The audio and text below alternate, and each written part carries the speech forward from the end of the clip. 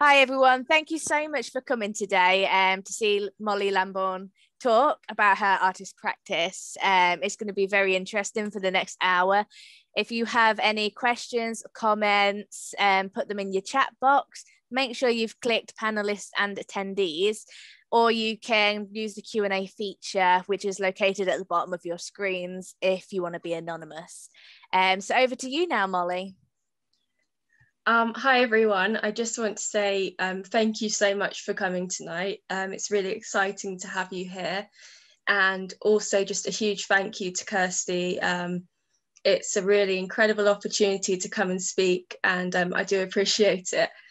Um, I'm sure you're all aware about Tebbs Gallery, but please do look them up and keep an eye on what they're doing because it's very exciting and also at the end um, there'll be some information about how you can stay in touch with me and um, keep up to date with what I'm doing.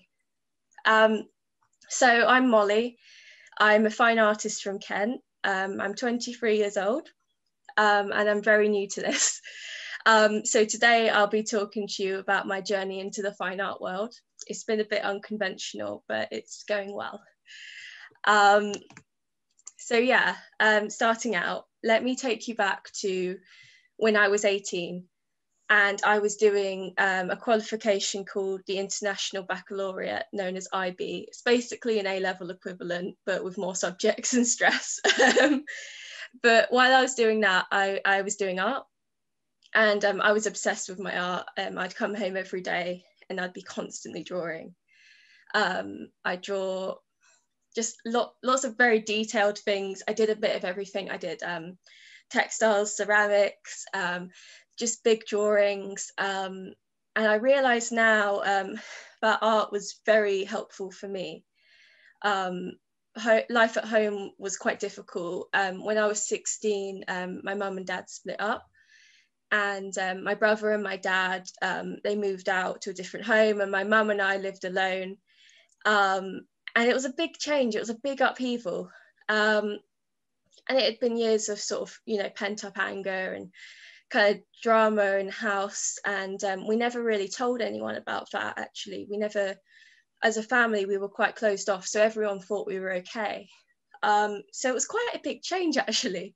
And I remember being really closed off. I remember um, not telling any of my friends, I think until the day that I was moving, and I just sort of casually mentioned it. um, so it was a bit of a shock for people. And um, yeah, I remember my art really helping me through this period. And um, I was making lots of work like this. Um, this piece here is called Map of One Existence.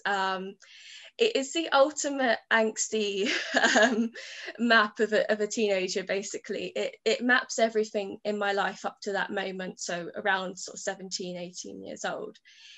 And um, it had all the key buildings from my life um, key quotes key books um, songs experiences just emotions from in the moment. It was a real cathartic piece um, and it's quite big as well. And um, i remember I can't even remember how long this would have taken, a very long time. It's very detailed. And um, it, it, really helped me process that moment in my life. Um, and what inspired it was the most incredible exhibition. And I stay to this day, I, I don't think I will ever go to an exhibition as good. I could be wrong. Um, but it was Grayson Perry at the Turner Contemporary in Margate. And it was room upon room of just beautiful, challenging artwork. It had politics, it had humor, it had deep personal um, memories. Um, it, it, was everything to me. It was this beautiful exhibition. It was all these ceramics and these huge textile tapestries. And um, one particular piece stuck with me. It was called Map of Days. And um, it was basically Grayson commenting on psychology and different types of um, mental illness, but also going into his own experiences. And it was it was quite comical piece. Um, he, he'd suddenly go from these deep emotions and this challenging of his gender, and these sort of texts that would really provoke you, and then also suddenly just say some really random text of something he'd heard on the radio, and it was just this really incredible piece. And I remember thinking, I don't want to do conventional portraits. And you know, when you're that age, you try lots of different art. I did oils, I did lots of different things. But there was something about doing this really unconventional portrait of the self that attracted me. Um, so yeah, uh, my exhibition was lots of stuff like that. But um, I was 18. um, and you have to make decisions about your life. And um, I came from a working class background. So I, I remember wider family members sort of saying to me, you know, your art's good, but don't go do that because you know you're good at other things. And I remember um, foolishly kind of believing that. and um, yeah, I had a couple of bad relationships at the time as well. And I had people sort of discouraging me, and that does affect you, especially at that age. Um, so um, I went on to do history at Warwick and um, I got onto this really good opportunity with um, Lloyds Bank. They did a um, scholarship program um, for people from sort of um, working class backgrounds, low income households, that sort of thing. And it was an incredible experience. while I was at university, they offered me volunteering, two paid internships during my summers. and it was great. It, it really was. My first my, my first summer um, uh, after my first year at university, um, I went to Edinburgh and I went on a plane for the first time. I remember going to work in this this big impressive building and it was very corporate and it was very exciting for me actually. Um, but I remember that year at university, I sort of said to myself, um, and I really did care about my art. I said that if I can't do this professionally, I don't want to do it at all. And I put my pen down stubbornly. Um, and, and what a mistake actually, because um, my mental health did get quite bad um, because that whole time I'd been drawing a lot and really that had been my coping mechanism I'd lost that. And um, yeah, I, you know, I did develop, well, I think it was always there, but officially develop things like anxiety. And um, yeah, I, I, stopped doing the art. um, I, I, did a bit here and there, but but not not much at all. And then I got to my second year of university and my second internship, and this time I went to Bristol, um, which was incredible. And I remember this pattern started again, where I was coming home from work every day and I was drawing. And I was drawing until the late hours, and I'd been picking up all these objects, um, like this teapot you can see here, and um, yeah, I just started drawing on them obsessively again. I was constantly doing it, and um, I had no problem with the work I was doing at the bank. It was, it was, it was good work, and people were lovely. Um, there was nothing wrong with it. But when you're creative, you have a drive and you have a need to make. Um, I do believe that. I, I know that a lot of a lot of my colleagues, especially, they they have that innate need to make. And um, I decided that I wasn't really done with my art, and um, that after university I would I would pursue it again, um, which was a bold decision and really scary for me actually. Um, but I knew it was something I needed to do. So I go into my third year at Warwick. Um, and I do three really scary but really important things. Um, I spoke to a careers advisor and said, How do I go from history to art? Can I do that? Can, can anyone be an artist? I, have I've missed out on this undergrad. um, and, you know, she said, Apply for a master's. So um, I applied for one in my hometown. It was a good course. Um, I'm still doing it now. I've got two months. Um, it's at UCA in Canterbury, and, and I applied for that. And um, I also thought, I need to start doing art regularly. I need to start getting in the headspace. Um, so I decided I'd start up a business under a pseudonym. Um, being an artist, you need to be, you know, you need to be present, you need to talk to people, you need to be able to talk about your practice. And I felt quite unconfident at this point. So I thought I'll do it under a pseudonym. And then it's kind of, it's my face, but it's not me. People don't know it's me. Um, so I set up Sophie Stokes and I applied for business funding for that.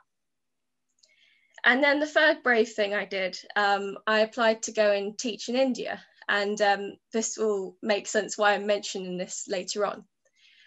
Um, and yeah, it, it, worked out for me. I, I got onto the masters. Um, it was a horrible interview. I remember crying in it actually.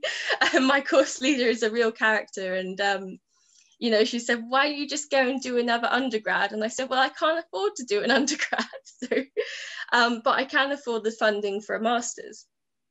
Um, so yeah, I, I got onto that. Um, it was an agonizing two day wait. um, um, and it was actually a pretty quick response um, considering. And um, I got the business funding for Sophie Stokes as well. And um, that whole year, and to this day, still I'm I'm working on it. Um, I, I, developed um, this basic illustration brand. What I do is 100% recycled plastic jewelry.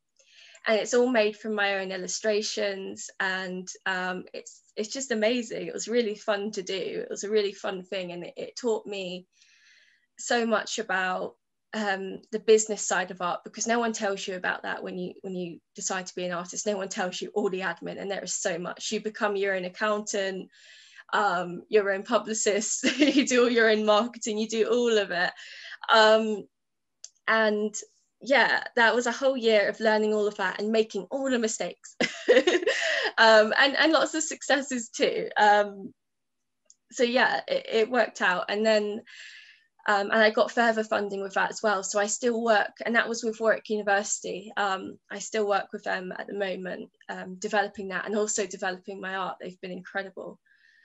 Um, and that third thing, going to India, I went to go and teach um, just for a month. Um, and it was basically training teachers um, and just doing this sort of sustainable volunteering. And it had a really big impact on me, actually.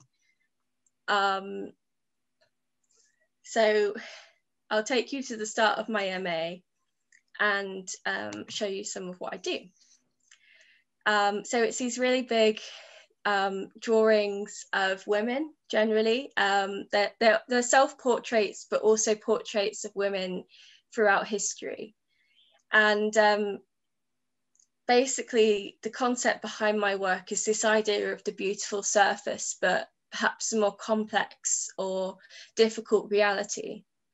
And this comes from two important things. Um, from my own personal experience, um, as I mentioned, with my family, we weren't very open growing up. We're very different now. I think we learned our lesson, but um, it's you know a lot of people, a lot of society. We have to be perfect. We have to um, not show our vulnerable side, and we have to be you know we live in a very beautiful age of Instagram and and surfaces and, and there's a lot beneath that there's a lot of difficulty a lot of struggle that we don't talk about and um, when I went to India, one, one thing I did um, with some of the other female volunteers I worked with, um, we were training teachers our age, our age. We weren't going there as a sort of uh, we're superior thing because I'm not a qualified teacher. But what we were going there as um, was with this sort of this privileged education you get in the UK, and you get a lot of creative learning methods. So we were just going to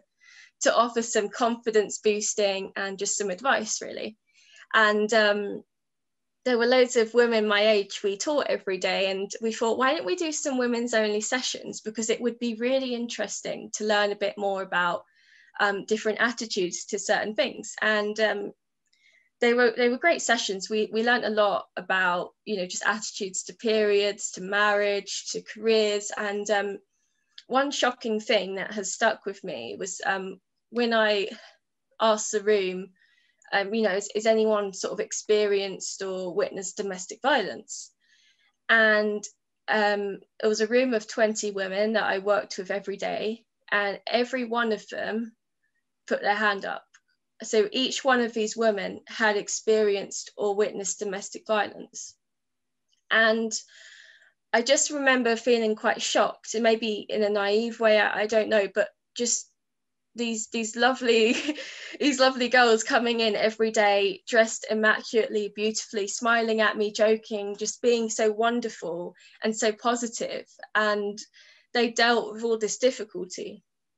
And it just showed so much strength and so much it, it was incredible to me and that's that stuck with me that i think everyone you know hides a lot of stuff about themselves and and I hope my work shows a bit of that vulnerability and a bit of that also that that surface that that we all put forward.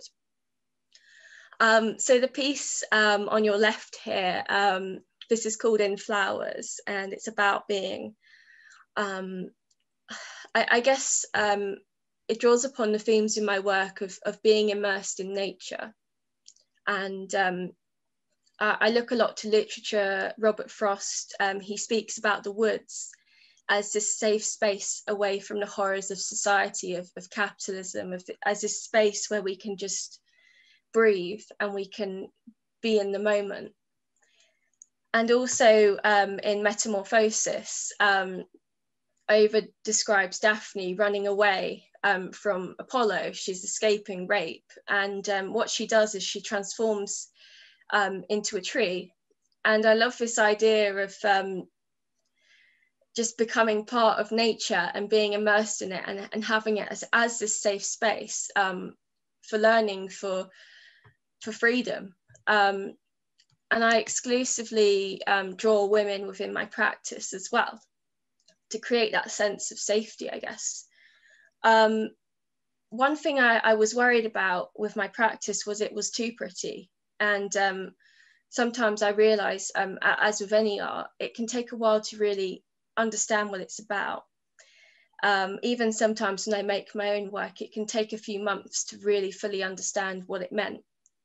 And for me, um, I read a really interesting writer called Stephen Levine, and um, he talks about art therapy. And he describes this process of poiesis, which is basically using the materials around us to shape different versions um, of the world, to create things that give us knowledge that we couldn't otherwise access.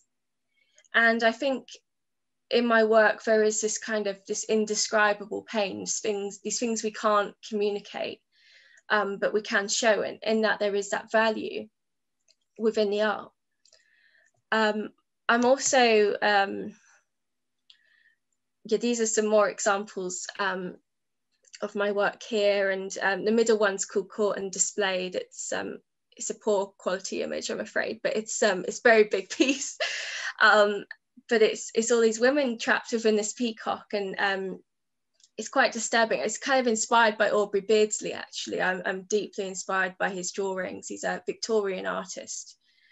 Um, and I love that detail actually. There's something very um, relentless about some of my pieces, especially the one on the left. Um, it's, it's called Lost in Translation, and it's kind of this um, almost horrible um, level of detail. It, it, comes out at you, and it's. Um, I read a book called Radical Decadence, and it's about this overt femininity, like shoving it in people's faces, and and um, and also for me, um, the process of my work, the, the literal um, act of pen to paper, is this cathartic release of energy and negativity and bringing it into something positive.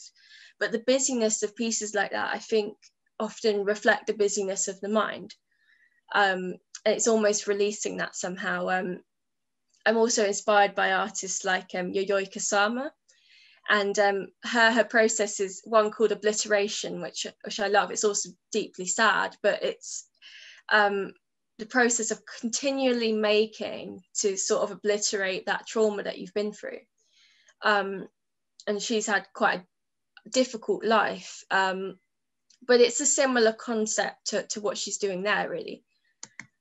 Um, I've also read um, Adorno. Um, this is the only theory, by the way. I'm just I'm just giving you the context. it's not an academic talk.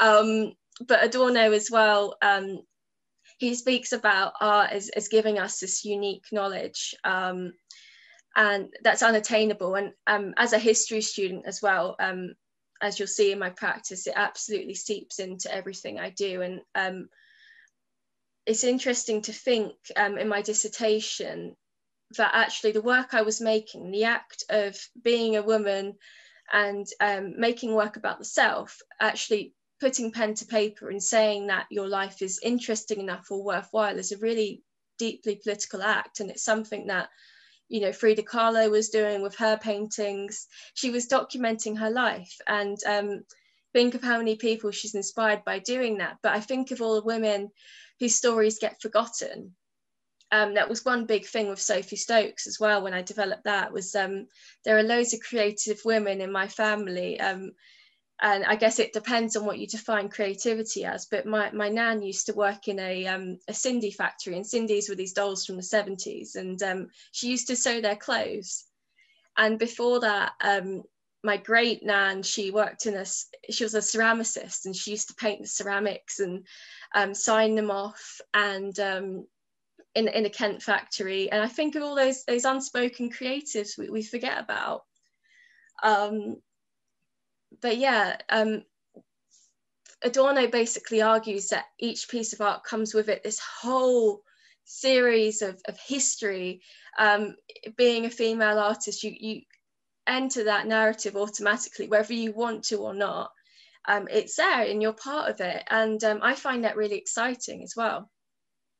And um, I guess um, he says when, when you look into art, it's this idea of this indirect contemplation that something so beautiful can actually allow us, um, give us the mental space to access thoughts we wouldn't otherwise get to. Um, so let's go forward to lockdown one. I don't really want to define things in terms of COVID, but sadly, my early career has has definitely been COVID's part of it. Um, and then, oh, what have I done?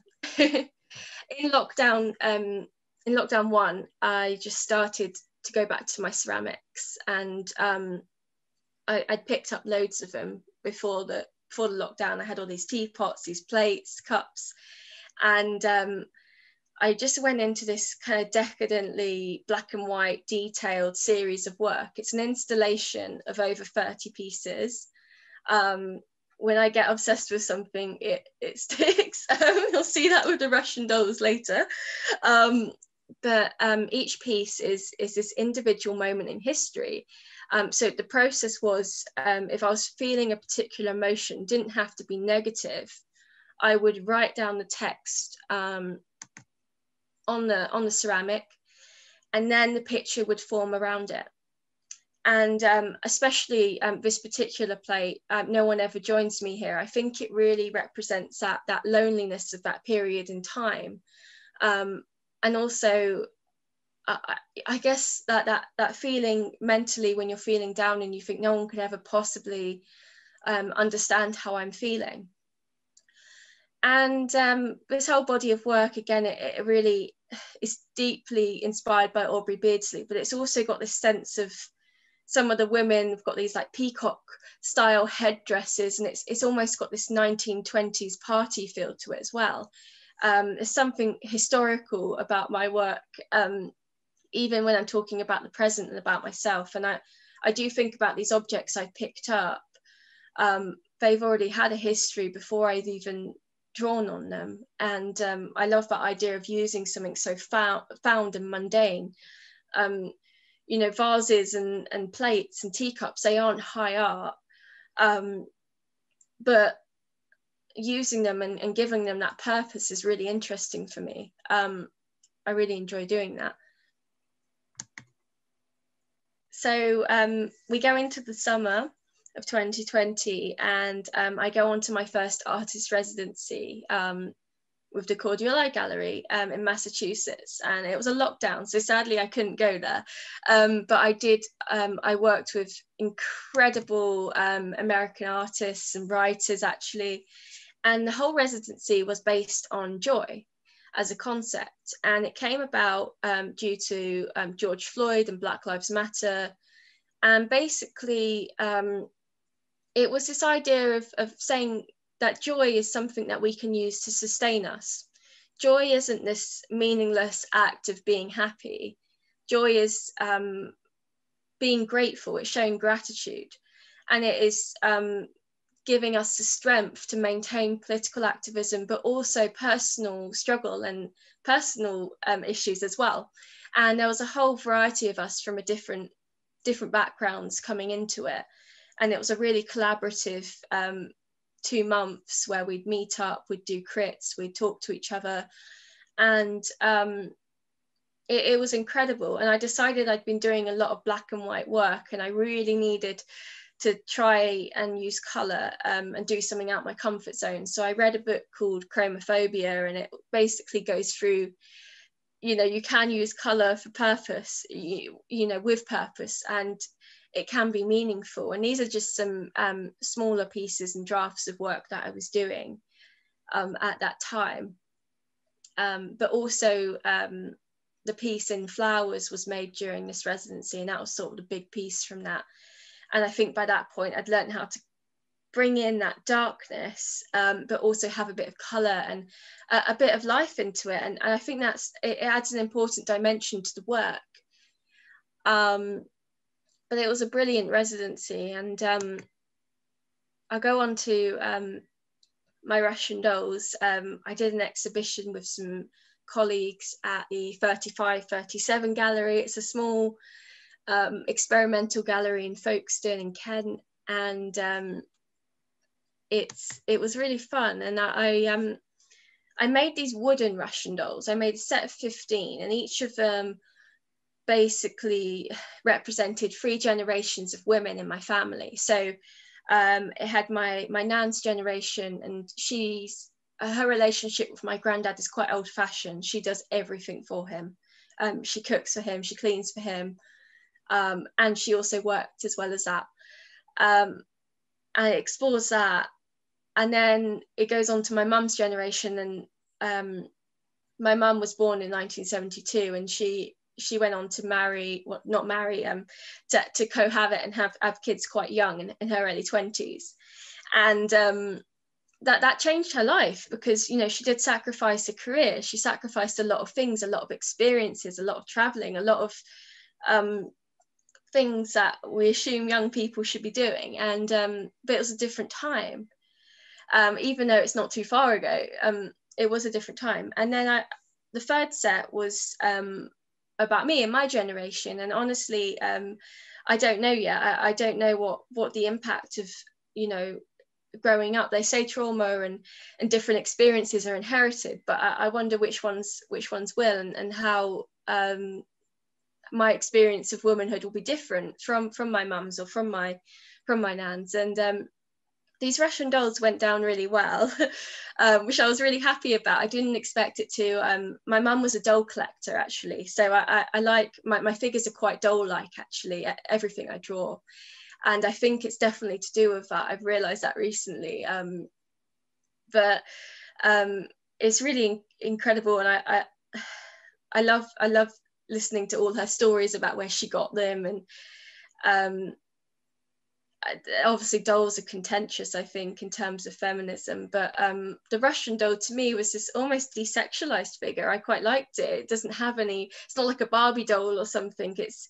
it's kind of separate from that and we went into another lockdown and um, i was sitting in my studio and i had this 10 kilogram bag of clay I, I got it I'd fi- i was thinking at some point clay is really nice to work with it's really relaxing i'll probably use it and it won't be anything to do with my main practice i'll just use it for fun and um, i remember sitting there and thinking wouldn't it be cool to make clay russian dolls because these ones i'd used before they were pre-made I painted and, and drawn on them.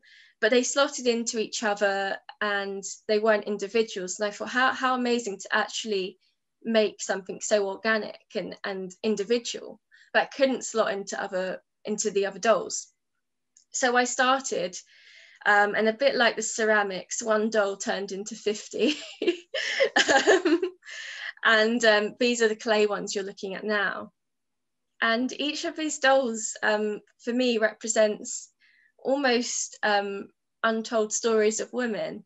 And all you can see is their eyes and, and their face. And I, I remember um, in India, as well as the teaching we did, the, the farm I lived, I lived on a farm during this time uh, in rural India, and um, it was also a textile um, collective just for women, um, a really safe space for them to come and work. And I, I remember as well um, especially after that conversation I had with the younger women, looking at some of the older uh, older women I was around every day, and and they'd smile. But I think you can look into people's eyes, and you can you can see you, you can see their experiences, and I could I could really tell there was pain, and um, with these dolls that the best bit was drawing the faces and some of them I had a bit of fun with. Some of them look a bit alien, but some of them, um, you know, that they, they, really tell these stories and these, um, yeah, that they have a pain to them. Some of them, I think, especially um, there's one. Um, if you if you go on my Instagram at any point, I always photograph this particular one. I've got a favorite,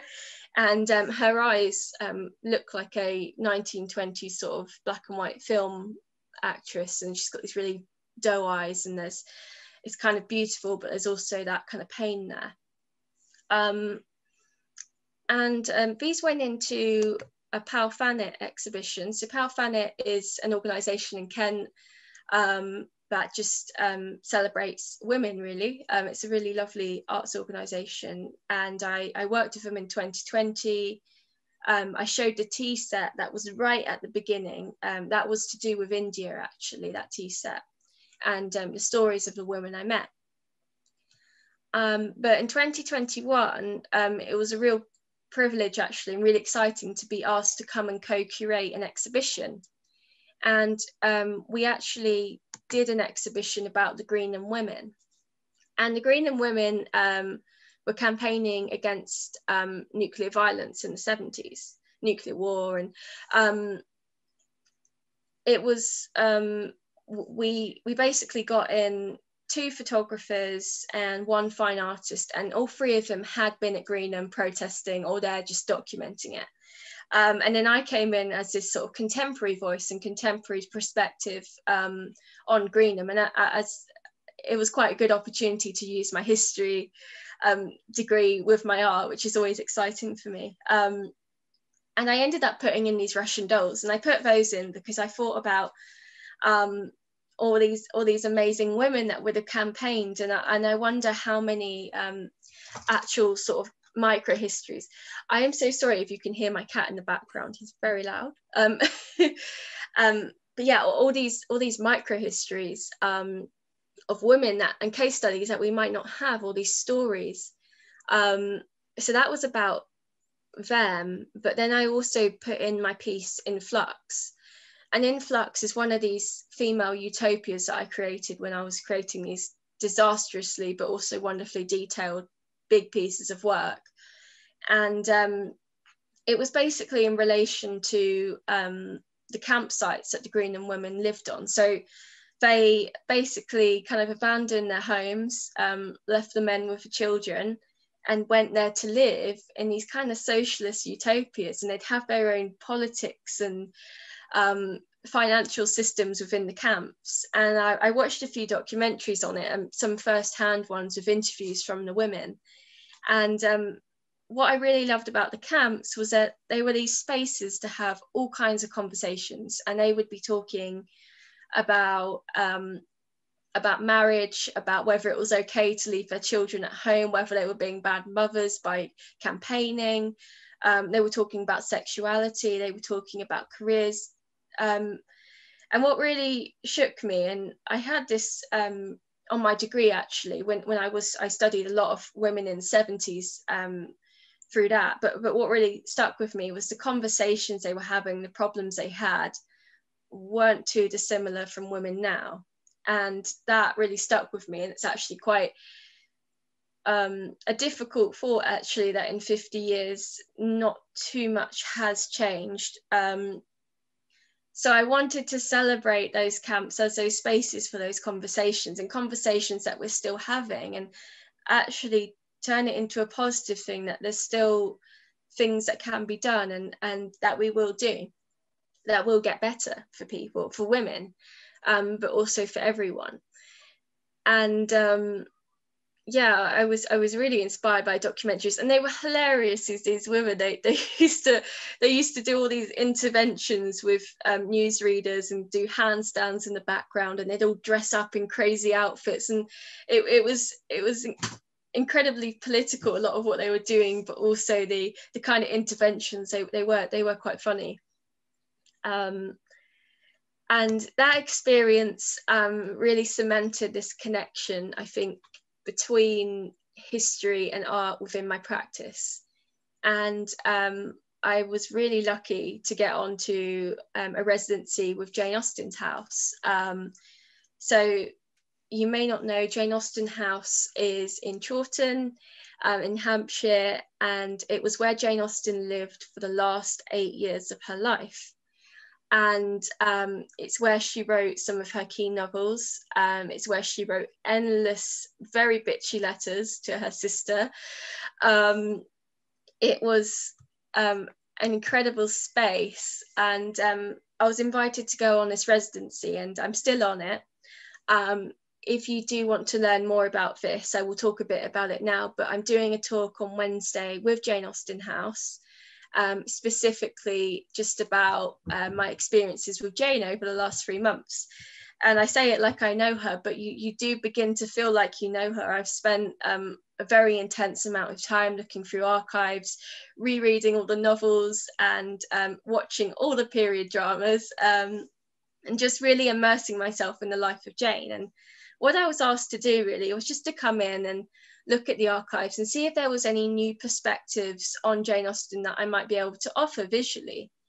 And um, one thing that struck me was I think when people think Jane Austen, they think that she was quite privileged, that she was um, drinking tea, going to lots of ballrooms, um, and she was very genteel. But actually, Jane Austen was this incredibly um, practical, down to earth, um, woman, and she she wasn't that privileged. Um, her brothers, admittedly, did go and live on big estates, but due to the way inheritance worked at that time, none of that money went to Jane, her sister, or her mother once her father died. Um, but yeah, she she was incredible. She um, she'd make her own ink. Um, she'd have to crush her own ink and predict when she'd need more, and that would take two weeks to do. Um, she had her own livestock, um, but she and and the other women she lived with would have had to sort of um, you know nurture and, and and kill if, if they wanted to eat it and um, producing produce. They had a whole garden just for dyes to dye their own fabric. Um, jane austen also she played the piano every day. Um, she would sew she was just immensely talented as well as her writing. And um, her brothers had lots of children so she was also a very loving auntie. Um, so she was incredible. She did a lot in her short life. And um, one thing in the first month of my residency, I, I wanted to think about was um, her writing room. And in Jane's writing room, um, which you can go and see, and I would recommend. And if you're far away, um, they do virtual residencies, which uh, virtual um, tours, and they're incredible. I think they're only five pound, and I've done one, and it was just um, it was it was as good as going and seeing it actually. You still get a lot from it. Um yeah but this this writing room and there's this wallpaper called chawton leaf and um it's this really beautiful it's a bit like what i've drawn here on the left um this green vibrant wallpaper. And she's there in the corner with her writing desk. And um, the brilliant thing about the writing room um, was that if anyone walked near, the door would creak and she could she could hear them coming. So what she would do is she'd clutch her book or her letter close to her chest because she didn't want anyone to see what she was doing until she was ready. She was very secretive. And of course in her lifetime she didn't go by jane austen. She used a pseudonym um, so people didn't know it was a female writer. And um, I just love this idea of um, this wallpaper being with her in all those moments. That wallpaper um, I began to think of it as this almost this living object that watched her. It watched her right pride and prejudice, sense and sensibility. It was with her through every moment, through every um, dark thought, through thinking about um, relationships and romance in Regency England. Um, it was there through everything with her. It was this intimate companion of Jane that knew her better than we could ever know know her. Um, and I love this idea of her becoming immersed in this room and this space. Virginia Woolf talks about every woman needing a room of her own to work, and it's something that um, the film director Sally Potter's played on as well. And um, Jane truly did have this room of her own. They'd also used the room for dining, but when she was writing it, it, it was there. She was alone. Um, and yeah, it was there. It, it knew the true Jane because it was there while she was writing all these letters, and we have 150 of these letters left. Um, but she used to be so horrible about about people about um, plays. She loved the theatre. She knew all the actors and actresses. Um, and she, she could be really nasty. And uh, i think to save grace um, cassandra her sister did burn most letters but we have 150 and we can get a pretty good idea of um, of jane those um, it would have been fantastic to have more but um, but yeah this wallpaper was there with, with everything. So it, it, was a really good start to the residency to make that. And also i was doing a challenge called 30 works at the time. It was a piece of art every day for 30 days. Um, so i was just playing around with the characters of jane austen drawing them and it all sort of visually helped me get into the headspace of jane's world. Um, i particularly love emma um, just because she's this really imperfect and, and human character and um, also Emma had a really good relationship with her dad, um, which Jane Austen did. Um, Jane Austen and Austen's dad um, let her have access to this huge library. He'd buy her notebooks and pens. He was so supportive when he was alive. Um, and it was always assumed that Jane would be a writer. Um, he, he, he was, um, it's, it's quite rare for the time as well. I just think it's a nice thing to share that um, it's not always you can't just make generalizations about a period actually. Um, the second month, um, I started to think about Jane Austen and the seaside, and um, Jane Austen, um, when writing about the sea, it would actually be represented as this place for sexuality, for looseness, for freedom. And this vase shows some of the key activities and things women would get up to at the seaside. Um, I'll start from um, the left, so in the pink dress, um, this is a scene from Persuasion um, when um, the girl she, she jumps off the steps at Lyme Regis and she keeps doing it. She keeps jumping into the into the male character's arms, and um, it's quite a flirtatious thing to do in that period anyway. Um, but then it goes wrong for her, and she she falls and she hits her head, and it's, it's quite shocking actually when I read it. I, I read Persuasion for the first time during this residency. Um, so I called the vase after that, I called it Leap of Faith, this whole vase, because with Jane Austen and the seaside, I feel like the seaside was this place to take risks and to do things differently. Jane herself allegedly had some romances at the seaside. Um, obviously, with the letters destroyed, we'll never truly know the full extent of those. Um, but yeah, women would splash about in the sea. Um, they'd do lots of swimming. They'd wear clothing that was slightly more revealing, and it was also in the novels a place um, for women to become um, sexually viable candidates, or a place where women would be pursued. Um, you have it with with Willoughby and Sense and Sensibility, um, and it, and in Pride and Prejudice as well, actually, um, with Mr. Darcy um, and his, his sister is pursued at the seaside. And um, yeah, it's this place of sexual awakening. And as well as that, um, women would also go and gamble. And if you look closely, you'll see the women are holding these tiny fish, and that's kind of the shape they were.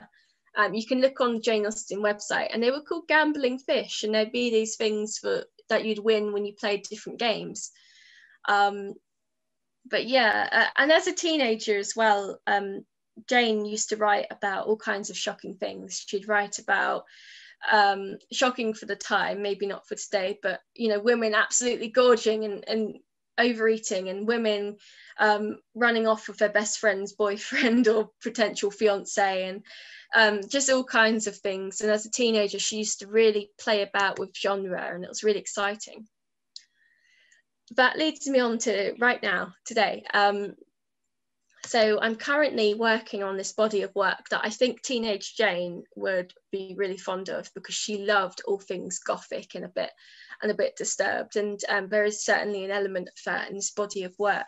Um, this is this is for my degree show, and it really goes back to that piece in Flowers. I found there was a power to just focusing on one or two figures and I started thinking about duality. I thought about pieces like the two Fridas and this idea of contemplation. And I think really I wanted to bring it back to the self for my degree show. I really wanted to um, put the history aside for a bit and think about um, my relationship with my mental health and how there's these kind of two two two beings almost these two personalities there's that very um, kind of ambitious and, and driven side and there's also that side of the self-doubt but somehow they maintain each other and um, I've mentioned Sally Potter. She she's a fantastic British um, director, by the way. But um, one of her films, The Tango Lesson, and and it's about the tango and um, this kind of dynamic of the dance. And I, I, started to think about those poses when I was um, developing this body of work, and um, that kind of struggle between two people. And I thought of that as the struggle um, in my head sometimes. Um, I was also told um, I, I, do a lot of the body. I was told if you're going to do the body, do it full size. Um, so you'll notice that very big piece is actually seven foot. Um, and it's the biggest piece I've done today. Um, I work quite big anyway, usually at least A1. Um, so it's exciting to go even bigger with the scale for the degree show. Um, but also my process is um, quite chaotic. When you see my finished work, you think, oh, she must be so meticulous and organized. Um, it's actually chaos. Um, it's I, I, like to have several pieces going on at once because I find they're then in conversation with each other, especially with this body of work, because it's um, that they kind of inform each other, and as they develop the others, I, I then get inspiration for the others, and I, I like to leave work to to one side and think about it for a while, and and have that space to to to breathe and, and to think about it rather than rushing every piece. Um and yeah it, it's it's it's an exciting body of work. I can't fully um give you like a, a description of what it all means yet because as, i've said you know it, it takes me um, a bit of time to fully understand and take in what i've done. But definitely it comes into it a lot of the themes that have built up over the last two years. And um, it's going back to something deeply personal. And um, definitely you'll see the completed piece on the right. And um, it felt very emotional when that one was complete. There's something about it. Um, definitely pieces like that. I feel like you do put a bit of yourself into it. Um, so that's all for the main talk. Um, I hope you've got questions. I'm really happy to answer anything. Um, I'm going to leave it on this screen or we might come off for a discussion. I'll let Kirstie decide. But basically, um, yeah, please come and say hello. Um, I'm on Instagram, um, I'm on Facebook, um, and I've got a website which is a portfolio. It will be a shop at some point soon. Um, I'm working on it and also I'll have a Patreon as well um, very soon. So um, I'd love for you to stay in touch and, and yeah, please say hello. Thank That's you. fantastic. Um, uh, where to start? I mean, it's you're talking about all these inspiring women of the past, but at, but really right in front of us, you're incredibly inspiring to women, um, because the way that you are using your mental health to be able to really push your artwork the way that you're able to just take that leap of faith ignore everyone else and go i'm going to be an artist. I am going to do this and i'll do it for myself. Um, it's just incredibly inspiring and it's so beautiful to actually see people do this. Mm. thank you. Um, and there was there was one bit that really hit me uh, with that women's group in india that every single woman's put their hand up and they say that really in England, most women have experienced sexual harassment, rape, or have witnessed something like that. Um, so it's it's one of these things where unless we opened our eyes, we won't know what's going on. Um, I think that's one of the one of the most important things in your artwork is bringing that teaching to us. Um, and yeah, there was there was a couple of questions as we were going through. Um, so with your residencies, um, how has working in different environments and different places affected your artwork? Well, um, with the Cordial Eye Gallery, um, it, it, was digital, but working with American artists was just such a positive experience. Um, they were just so honest and um, really encouraging and positive. And actually, um, doing a group residency is such a valuable thing because you do find um, you bounce off each other. And I'm still in contact with, with quite a few of the artists now. And um, one of them, she's an incredible sort of feminist photographer. And um, our practices are very different, but also um, we have such similar interests that um, I, I, still find myself inspired. So actually, I think it just broadens your horizons and, and makes you think a bit differently. And um, with Jane Austen House again, it's been digital, but um, I have been to the house, and um, what I found from that was, um, I mean, I, I, think I'm obsessed with Jane Austen now, um, and it's it's all down to um, Sophie Reynolds, the curator, and also Lizzie Dunford, um, two incredible members of staff at the house who just come at you with all this knowledge and information. And if you if you have any inquiry about a small bit of jane they will they will come back at you with 10 sources relating to it. Um, so i think um, i think that residency in particular has taught me just you know really read immerse in literature um, watch watch tv watch films um, and just learn from it. And um, and there's value in that. It's just research is so important it's such an important thing and um, I, actually i'm sure a lot of artists um, uh, so much thought goes into any work before you even begin to produce it. Mm. i think that's really really good advice actually with reading. Um, I mean, especially going back to the time in Jane Austen, it would have been rare for a woman to be able to read and write and be given the opportunities that she had without that supportive family. Um, and there was an, another question. Um, I write so many notes, it's ridiculous. um, so, how did you manage to get yourself to have that willpower to go to the careers advice and decide, you know what, I'm going to be an artist, I'm going to change my career completely? Um, I think I think I just had a point of, of realization in Bristol. You know, I was making the art every night, and I, I guess I just thought um, I'd love to do this all the time. and um, yeah, as, as naive as that was, I guess, but um, that that that was that was the thought. I thought, well, why can't I? Surely, if I if I talk to someone and I put the work in and find out how, it's a possibility um, but you only find out through asking. So I just thought I'd find out more and see see if it was something I could do. And yeah, it turned out it was. So yeah. Oh, that's fantastic. Um, and I assume everyone is supportive now that they're seeing how great you are and how fast you're rolling with it all. Well, my, my close family have always been um, incredibly supportive. Um, like, I mean, amazingly so. Um, I, I currently my, my studio it's it's a spare room in the house um, and my dad's very kindly um, let me do that and that's that's amazing. Um, and yeah I think the wider family yeah yeah.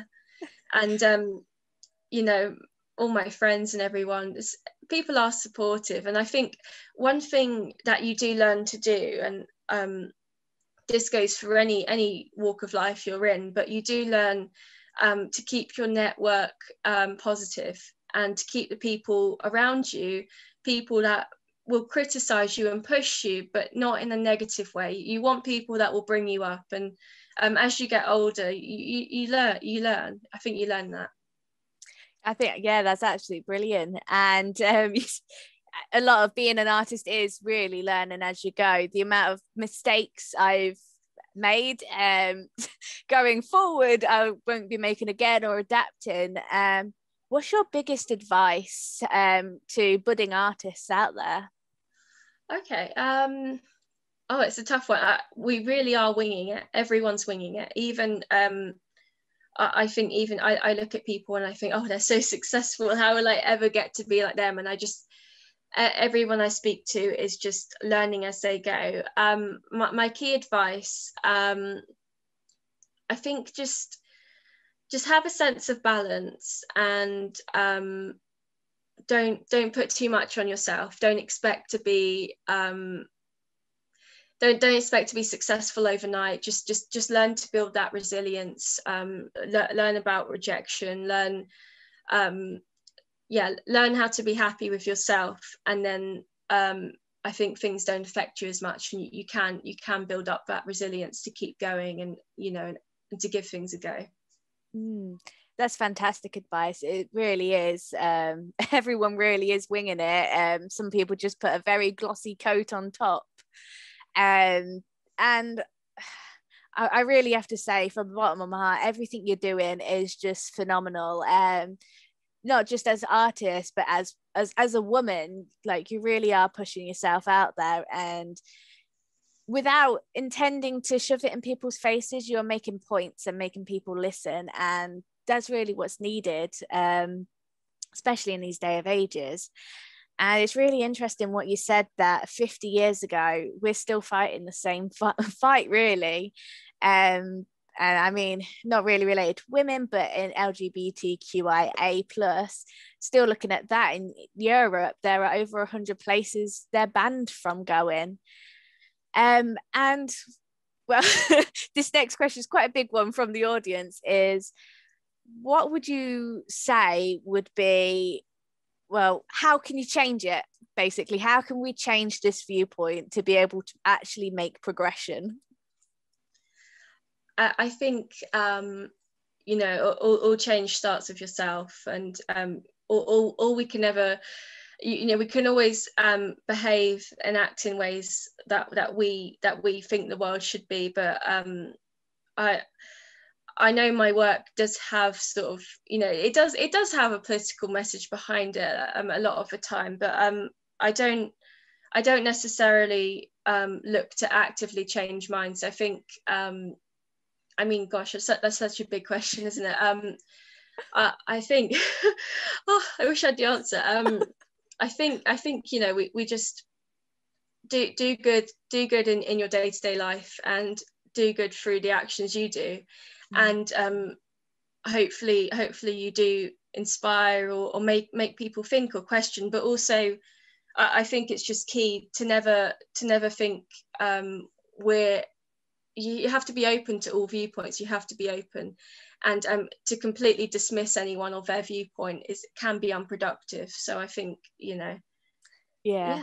I, I completely agree. Uh, one person might seem small but if a million people did the same thing it would actually cause quite a big change. Um, and thank you so much for being here today to talk about your creative practice. I am I am myself as well as the audience has found it incredibly interesting. Um, and everyone, please do follow Molly Lambourn on Instagram, Facebook, and keep up to date for when her shop and Patreon comes along and support her. Um, without you guys, artists wouldn't really be able to thrive and survive. Um, so thank you so much, Molly, for being here tonight. Thank you. Thank you for having me. And thank you to everyone who's come along. I really appreciate it. okay, then. Um, I'll see you soon and keep safe and keep well. Bye. Bye.